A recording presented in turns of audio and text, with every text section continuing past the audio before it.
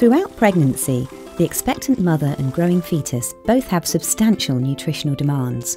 Pregnant women must get the optimal nutrients required in order to support the growth of the fetus.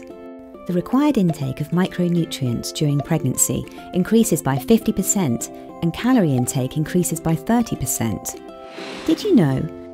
The fetus is able to synthesize its own fats, carbohydrates, and proteins from metabolites such as glucose and amino acids transferred by its mother.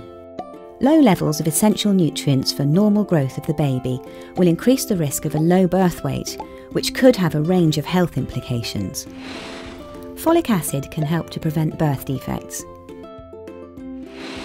B complex vitamins bestow a wide range of health benefits for preconception, pregnancy, and breastfeeding.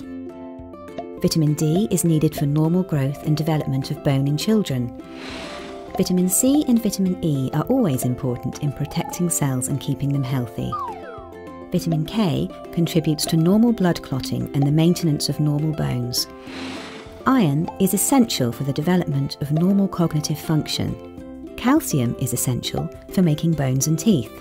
Magnesium aids in bone growth and the function of muscles. Iodine helps your baby's brain and nervous system develop.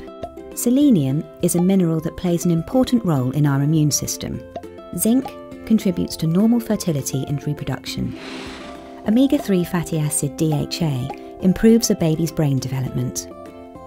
Suitable for both vegetarians and vegans, pregnancy support is free from additives and comprises whole food minerals that have been hydroponically grown. For more information on nutrition for pregnancy and breastfeeding, visit the Nature's Own website.